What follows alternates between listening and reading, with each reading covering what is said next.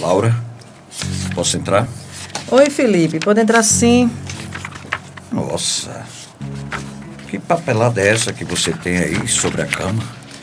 Estava vendo aqui nas coisas do Alderico, procurando um modelo de discurso de candidato a prefeito numa convenção. A convenção é hoje à noite, né? Sim. Oxe, peraí.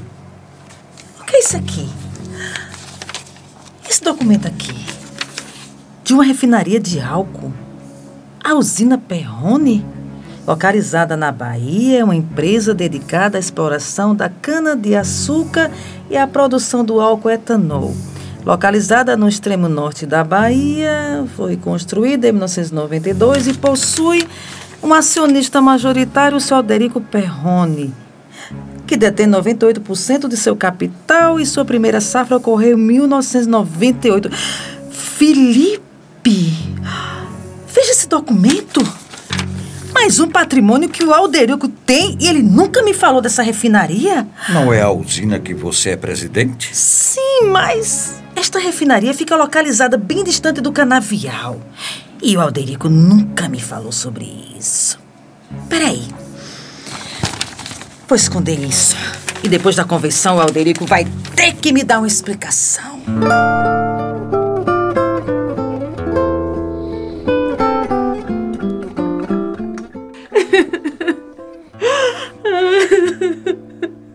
Guida, fique assim não. Desculpe, eu, eu fui muito egoísta nas minhas colocações. Vem cá, vem cá, vem. Olhe pra mim, olhe pra mim. Isso, isso. Agora enxuga essas lágrimas, vá, vamos. Ô padre, eu tô com tanta vergonha. O que as pessoas vão dizer de mim? Passo Grande vai me ter como uma ladra. O importante é sua consciência, Guida. Tudo isso vai passar. Você foi uma vítima de um plano diabólico. Quem sabe foi a própria Laura Perrone que armou pra cima de você. Não! Não foi ela, não! Eu tenho certeza que não foi ela. Por que você afirma com tanta convicção que não foi ela? Eu sei que não foi ela. Você desconfia de alguém que possa ter feito isso? Eu não tenho certeza. E nem posso afirmar, mas. Eu desconfio de uma pessoa sim. Quem? É, fale pra mim, fale pra mim. Eu desconfio da diva. A filha de Dona Dalva. Oxe, a filha de Dalva? Ela trabalha como cabeleireira de Dona Laura. A gente tava saindo juntas quando eu lembrei de fechar a torneira do jardim. E deixei com ela a minha bolsa. Quando eu voltei, a confusão já estava toda armada. Hum, Deus me perdoe, mas. Pelo que eu já ouvi falar dessa moça, pode ter sido ela sim. Meu Deus! Até quando eu vou ter que sofrer? Até no amor eu fui sempre rejeitada. Viver um amor que não se pode concretizar, que por algum ou muitos motivos é impossível, representa uma terrível dor, padre. Meu coração está quebrado e às vezes até os piores sentimentos se apoderam de mim. Se desespere, Guida.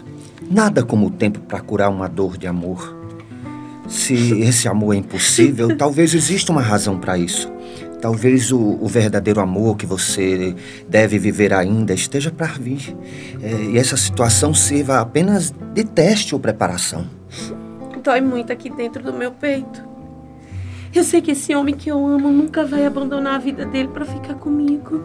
Eu sei que dói. Que custa aceitar que não podemos ficar com essa pessoa que amamos tanto. Mas você deve pensar que algo melhor está para chegar. Além de, além que um amor impossível será para sempre um amor que jamais esquecerá e que com o tempo aprenderá a olhar com certo carinho. Mas mesmo com essa dor, esse sofrimento, eu nunca vou desistir de nós. Não importa o quanto esse amor pareça impossível. Nenhum amor pode ser chamado de impossível, pois tudo pode acontecer quando estamos dispostos a lutar por esse sentimento que, que, que transcende nossa alma. Impossível é, é, apenas quando abaixamos os braços ou desistimos de o querer na nossa vida. Até lá, ele pode quebrar barreiras e vencer qualquer obstáculo. Olha, é, basta acreditarmos, por mais remotas que sejam as possibilidades. Eu Eu posso lhe dar um beijo no rosto?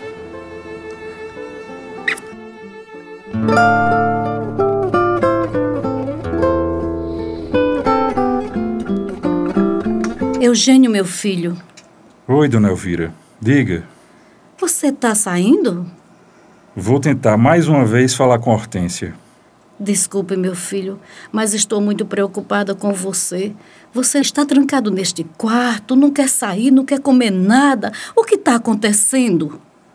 Ainda não sei, dona Elvira, mas tenho a impressão que algo de errado está acontecendo com a Hortência. Ela me mandou um recado que quer falar muito sério comigo. Estou com um pressentimento de que ela vai romper o namoro comigo. Oh, meu Deus! Tomara que não, meu filho. Eu torço tanto pelo amor de vocês. Obrigado, dona Elvira. Eu vou lá. Reze por mim.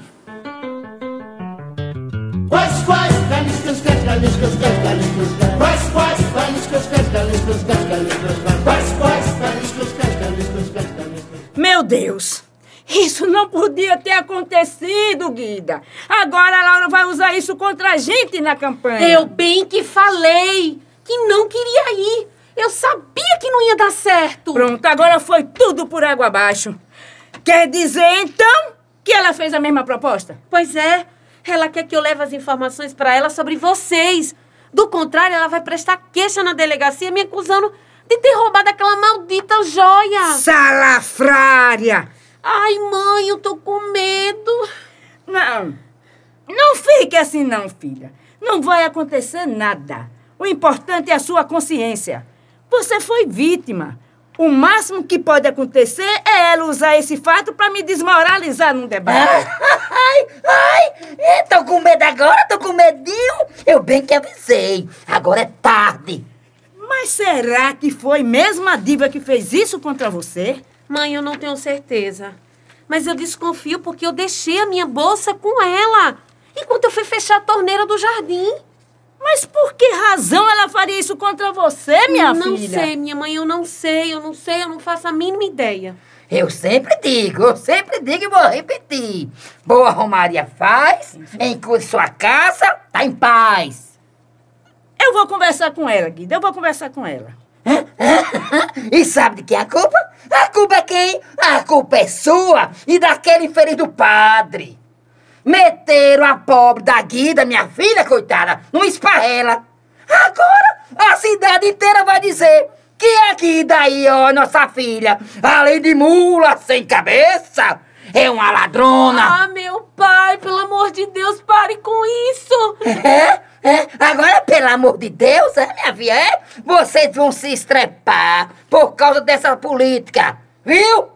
Ela ainda vai levar vocês duas pra debaixo do chão. Oi, e eu aqui, o pai de você e seu marido vai fazer questão de abrir uma cova bem funda e enterrar vocês num buraco só.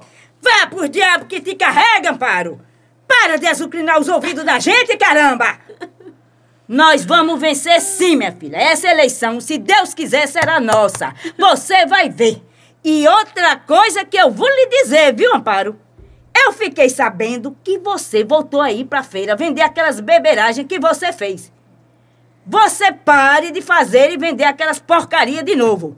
Isso dá cadeia, viu? Tá sabendo? Pare de vender esses remédios, homem de Deus, essas garrafas de raiz, dizendo que é bom pro fígado, diabetes, colesterol. É. Olha, eu tô lhe avisando. É, é, tá, tá avisando? Sabe o que é que dá cadeia? é a polícia que vai pegar você, viu? Sua comunista arruaceira. Ai, tomara, fé em Deus, que pegue você e aquele padreco e meta o pau, literalmente pau, pau, pau. hum. Quer saber, Amparo? Vai enfiar bufa em cordão? Ora, eu vou lá na casa da Dalva tentar falar com Diva. Mãe, mãe, não. N- não acuse ela de nada. Eu nem tenho prova que foi ela. Deixe comigo, minha filha, deixe comigo. Eu sei como conversar.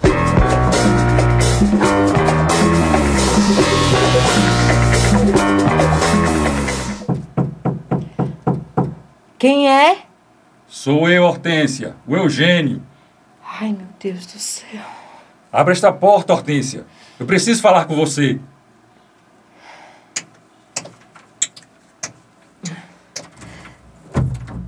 Oi, Eugênio. Hortência? Meu amor? O que está acontecendo? Não tá acontecendo nada, Eugênio. Como não? Estive aqui, você não quis me receber. Agora que cheguei, fui lhe dar um beijo e você virou o rosto. Olhe para mim. Fale comigo olhando nos meus olhos. Não baixe a cabeça. O que está acontecendo? Eu já disse, não tá acontecendo nada. Quando eu estive aqui, o Enir me disse que você queria falar comigo. Segundo ele, você queria ter uma conversa séria e definitiva comigo. O que é que há? É, tudo bem, Eugênio, vamos lá. A verdade é que não dá mais. É o fim. É o fim? Fim de quê? Não entendi. Você entendeu sim. Na verdade, eu cheguei à conclusão de que eu não devo brincar com seus sentimentos. E eu. Eu não amo você, Eugênio. Essa é a verdade. Não. claro, você deve estar brincando comigo, só pode. Diz que não quer brincar com meus sentimentos, mas tudo que a gente viveu até ontem. As declarações de amor que você me fez. Que não me dou a tudo isso agora que você chega e me diz que é o fim? É desculpe, eu estava enganada, me perdoe. Algumas pessoas acham que podem brincar com as outras, com os sentimentos destas, com os sonhos, com as frustrações. Acham que podem magoar e voltar com a cara mais cínica e lavada, pedir desculpas, perdão e achar que nada aconteceu. Acorda! Pessoas não são doces que você toma de criança ou compra em qualquer esquina. As pessoas têm recheio, sim, mas é recheio de sentimento, de caráter, de personalidade. Mas ainda quem seja sem recheio, sem gosto, sem doce. Você acha mesmo que tem direito de pisar em mim? De brincar com meus sentimentos? Às vezes eu acho que as pessoas pensam que não tenho sentimentos, que sou de ferro, que não sofro. O que você fez, eu não desejaria nem para o meu pior inimigo. As pessoas estão ficando assim, falsas, frias, sem coração. Isso tudo é consequência de pessoas que passam pela nossa vida e pisam na gente, nos maltratam, até virarmos isso. Por que isso agora? Eu vou me casar com ele. Ele é o homem que eu amo de verdade.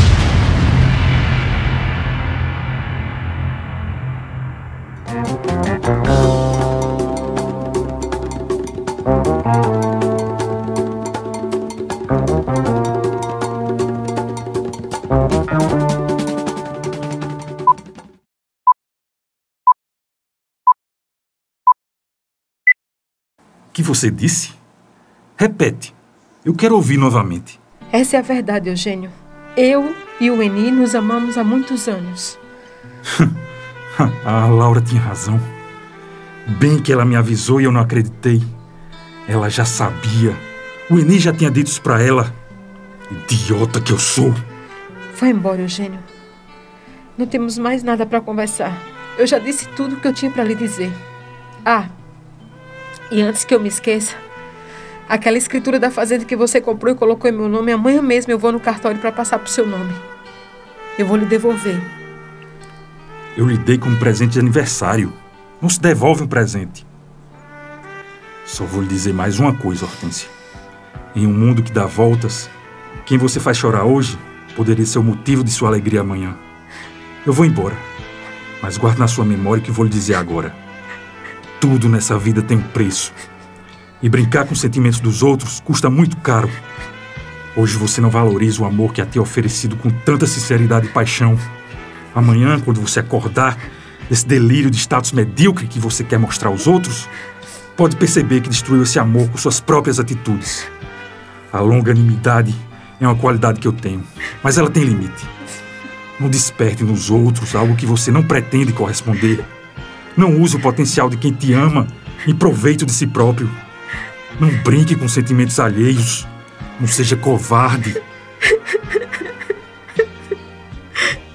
Perdoa. As aparências podem enganar completamente.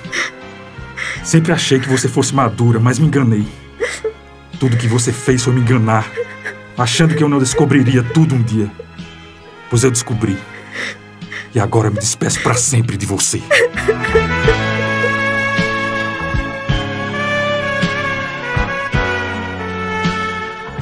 Senhoras, senhores, autoridades aqui presentes, boa noite.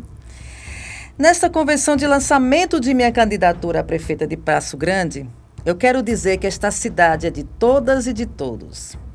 Uma expressão de diversidade, gente de todos os cantos, gente que trabalha e gosta de viver aqui. Passo Grande é a síntese do Brasil e do mundo. Meu esposo, o atual prefeito desta cidade, Dr. Alderico Perrone, é um homem público, um ser político. E desde 2018 teve o privilégio de poder cuidar da vida de mais de 200 mil pessoas que vivem neste município, que é uma nação. A vida está me oferecendo uma enorme oportunidade. Minha experiência na prefeitura tem coincidido com adversidades que eu jamais pensei em enfrentar. Minha luta de vida durante a infância e juventude na capital paulista, até eu me formar em administração, me fez promover um reencontro esse reencontro comigo mesma me obrigou a selecionar o que realmente importa e o que vale a pena. Mais que isso, me tornou uma mulher melhor e um gestor mais atento ao tomar contato com as dificuldades pelas quais passam todos aqueles que lutam por melhores condições de vida. Eu quero ser prefeita de Passo Grande. É a minha maior conquista e realização pessoal tenho a força necessária para estar à frente da cidade e ao lado da população. Para mim, Passo Grande vem sempre em primeiro lugar. Jamais vou colocar a cidade e a sua população em segundo plano, não. Nestes últimos quatro anos, em que Alderico foi prefeito, teve trabalhando de forma incansável para que Passo Grande seja mais que a cidade de todos e de todas.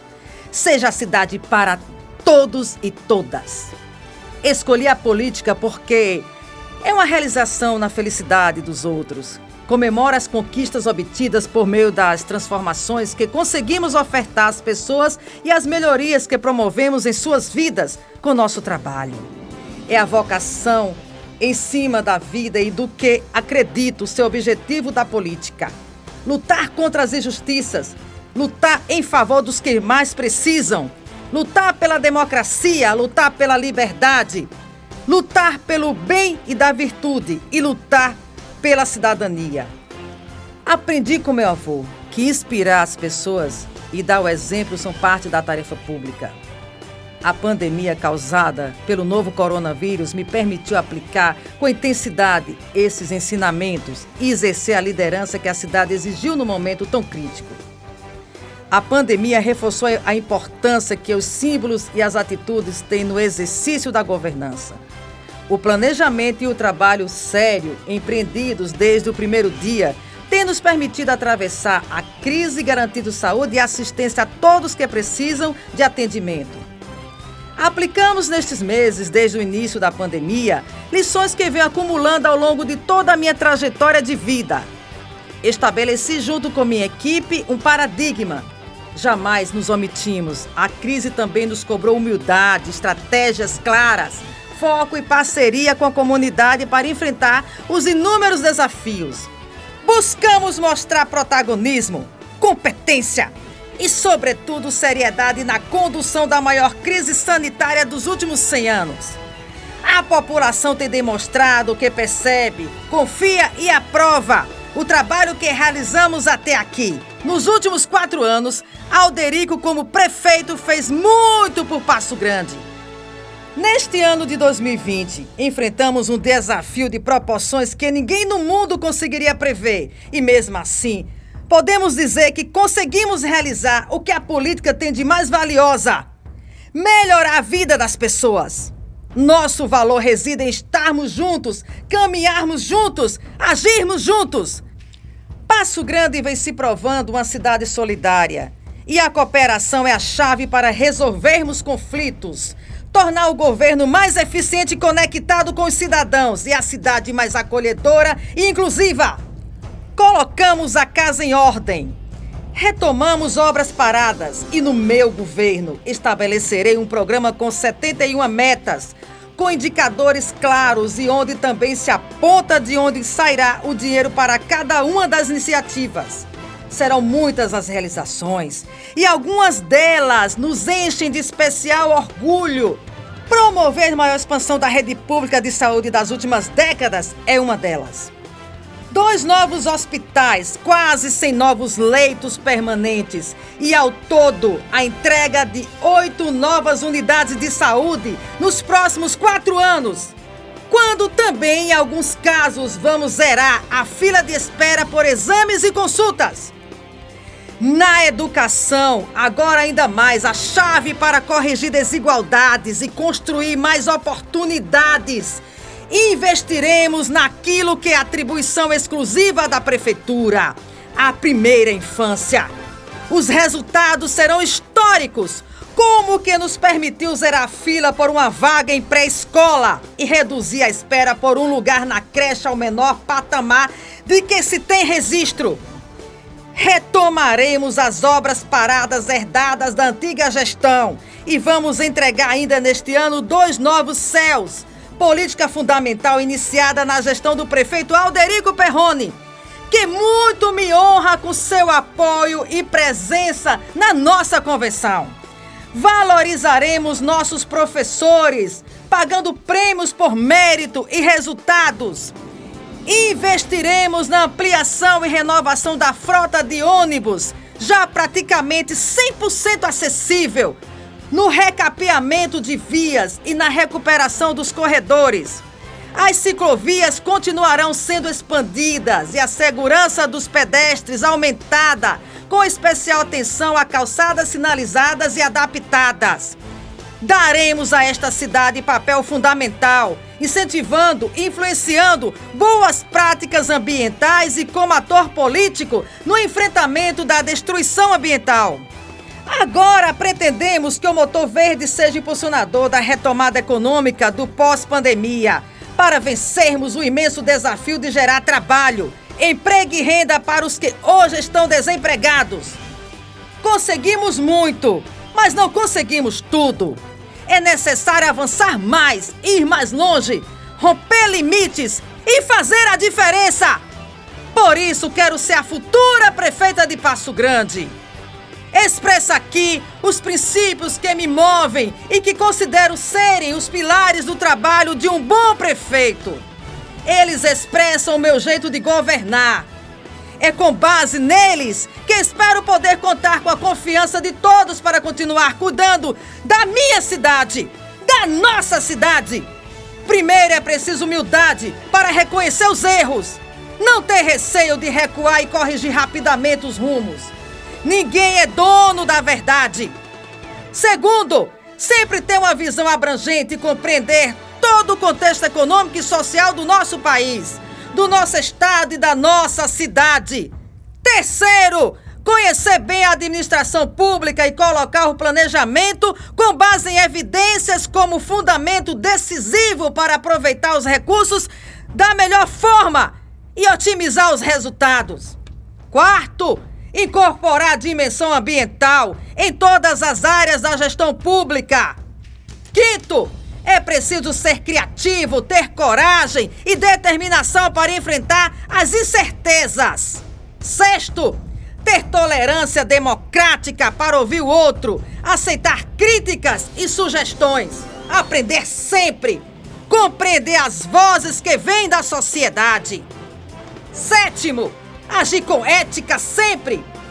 Oitavo, trabalhar em parcerias para transformar a sociedade. Política é tarefa coletiva. Ninguém faz nada sozinho. Nono, ampliar os limites do possível. Levar a política mais longe e estar mais perto das pessoas. E décimo, gostar do que se faz para fazer com amor e dedicação e servir a um só interesse, o dos cidadãos.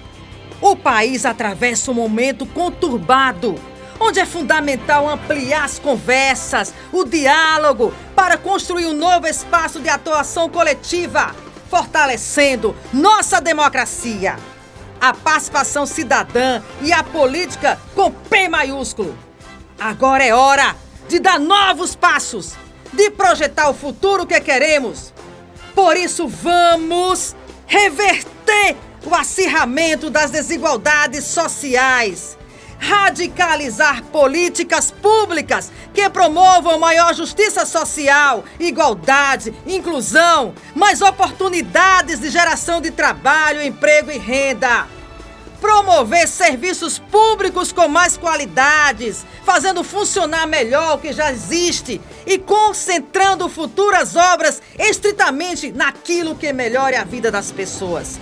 Sempre com planejamento e preço justo diminuir o peso do Estado, promover novas privatizações e concessões, trabalhar em parceria com a iniciativa privada e facilitar ainda mais, com redução dos estravos burocráticos, a vida de quem quer empreender, gerar emprego e renda. Consolidar a expansão da rede de saúde pública municipal, mantendo a ampliação da oferta de vagas, leitos e equipamentos de maneira vigilante em relação aos riscos resultantes do novo coronavírus. Com especial atenção ao pronto cuidado e à prevenção de doenças. Alô? Oi? Fale rápido. Eu estou na convenção. O Eugênio entrou na minha casa e está conversando com a Hortência? Obrigado. Tô indo pra aí agora.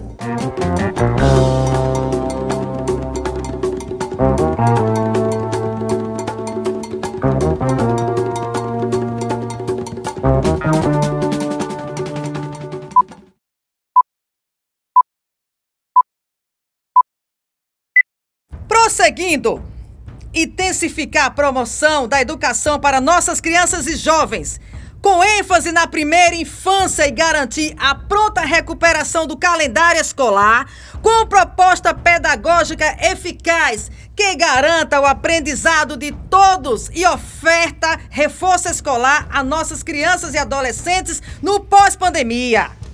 Viabilizar investimentos públicos em infraestrutura como forma de alavancar a retomada econômica e reduzir as desigualdades regionais da cidade fortalecer as ações de segurança sob a alçada da Guarda Civil Municipal. Aprofundamento, a utilização de ferramentas de inteligência no combate ao crime, na prevenção da violência e na proteção ao patrimônio. Passo Grande é uma cidade de economia criativa, tendo a cultura em todas as suas manifestações. O esporte, o turismo, a moda, o design, com força, foco e fé nossa cidade e todos nós vamos sair desta mais fortes. Não apenas pelos desafios impostos pela pandemia do novo coronavírus, mas porque os principais projetos e novas dinâmicas urbanas transformadoras já estão em curso. O objetivo é levar a cidade de Passo Grande a um novo patamar de desenvolvimento social, econômico e urbano e sermos capazes de apresentar as soluções mais adequadas para que a cidade atue como motor da melhoria de vida das pessoas. Nosso projeto é de uma mudança segura, baseada no que conquistamos até agora, mas sem medo de avançar sempre nosso projeto é coletivo e é construído com realismo e o conhecimento de quem respira Passo Grande. De um grupo amplo que tem capacidade para fazer mais e melhor pela nossa população, com visão articulada e integrada. É assim que temos trabalhado nestes últimos quatro anos. E é nisso que confiamos para continuar trabalhando bem ao longo dos próximos quatro anos. Para isso, Esperamos contar também com o sucesso da nossa chapa de vereadores, que se tornarão depois parceiros da prefeitura e da cidade na Câmara Municipal. Passo Grande vai dar o exemplo com humildade, planejando sempre novas ações, fazendo juntos, em parceria para mudar, avançar e construir uma cidade mais justa e melhor. Vamos juntos! todos por Passo Grande! Muito obrigada! Tá chegando, chegando! É a carreata da vitória! É a carreata da vitória, é a carreata da vitória, é a carreata da vitória, é a carreata da vitória! É nós que vai ganhar, é nós que vai ganhar, é nós! Eugênio espera. Adeus, Hortência. Você é uma pessoa maravilhosa. Mas com o tempo eu percebi que o que eu tinha por você era uma grande admiração, não é amor. E sabe, isso existe uma diferença. E quando eu percebi, eu tive que terminar, porque eu creio que para um casamento não basta admiração e carinho. É preciso amor. Você foi uma mentira perfeita. Nunca pensei que eu me decepcionaria tanto com alguém como me decepcionei com você. Eu acreditei em tudo que você disse. Tentei te ajudar quando precisou. E tudo que eu recebi foi uma facada pelas costas. Eu até agora não entendo o porquê de você ter feito isso comigo. O meu coração dói por eu ter esperado tanto de você e da nossa relação. Tudo que eu mais quero agora, Hortência, é que você caia em si e fique ciente do mal que causou em minha vida e no meu coração. Não me odeie. Odiar? Onde vai caber ódio num coração que sempre foi locupletado de amor? Mas neste momento, este coração está sangrando de dor.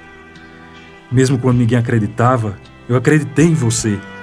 Mesmo quando ninguém se dispôs a te ajudar, lá estava eu para segurar suas mãos e te ajudar a prosseguir. Você não teve nenhum pingo de consideração por mim e por tudo que eu já enfrentei para te defender. Você é uma mentira perfeita, mas mal feita, daquelas em que as falhas são descobertas. Você brincou comigo e me fez chorar, quando tudo que eu fiz esse tempo todo foi te amar. Me decepcionei com alguém que nunca me mereceu. Entenda, meu querido. Eu tinha que lhe falar a verdade. E eu não podia me casar com o Eni sem antes lhe dizer. Tudo que eu não imaginava aconteceu. Estive todo esse tempo despreparado ao seu lado, pois eu não sabia que você chegaria a isso. A decepção me consome por inteiro. Me faz sofrer e chorar. Porque eu nunca te enxerguei de verdade. Por que fui tão ingênuo? Você é uma mentira, totalmente uma mentira. Não tem noção do que seja um sentimento verdadeiro. E por isso pouco se importa se as coisas que você faz podem destruí-lo.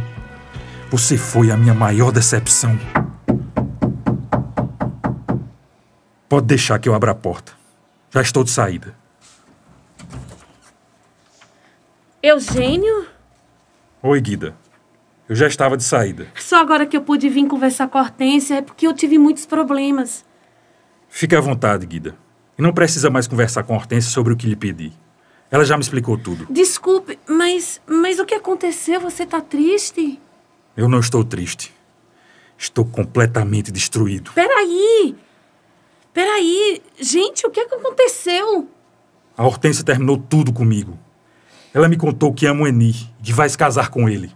Que conversa doida é essa, Hortência? Ficou louca? Não, Guida. O Eugênio precisava saber da verdade. Você não ama o Emir. Você odeia ele. Você ama o Eugênio. Eu sou testemunha disso. Eu não estava me sentindo bem com essa situação, Guida. Eu tive que dar uma decisão. Eu andava muito triste, confusa. Amiga, ficar triste por algum problema é normal. Se destruir por ele é burrice. Guida, mas há muito tempo que eu e o Eni nos amamos. Eu mantinha isso em segredo por causa da minha mãe. Isso não é verdade. É verdade, sim. E agora que minha mãe morreu, eu e o Eni podemos assumir o nosso amor. E eu não podia mais continuar com o Eugênio. Mas você não pode agir assim. Uma pessoa, no caso do Eugênio, não é um doce que você enjoa, empurra o prato, não quero mais. Já está decidido, Guida. Vamos parar com esse assunto. E eu vou me casar com o Eni, ponto. Você não pode casar com um homem que tentou tirar a vida de, de seu grande amor. Escuta o que eu estou lhe dizendo, Hortência. Eu já sei que foi o Enir que atirou no Eugênio naquele restaurante. Eu sei. Eu também já descobri isso. Eu achei o revólver e o capuz escondido na gaveta do guarda-roupa. E ele me confessou que foi ele. Como é que é? Você descobriu e não me falou nada. Ah, por favor, Eugênio, solta meus braços. Me largue. Me largue. Solte ela, Eugênio! Eni? O que você está fazendo com esse revólver apontado para Eugênio? Ah, adeus, cara. É dessa vez que você não escapa. Vou te meter uma bala na cabeça. Larga essa arma, Eni! Fica louco! Eu já tinha lhe avisado, cara. É dessa vez que você não vai escapar. Chegou a hora de você nos deixar em paz para sempre! Eu vou te matar, seu bandido de merda! Agora que eu vou te matar! Meu Deus do Eu vou te céu! mandar pro inferno, Com licença, merda! Hermi! Você vai embora! Hermi! Você vai Meu Deus do céu! Você vai pro inferno! Hortência!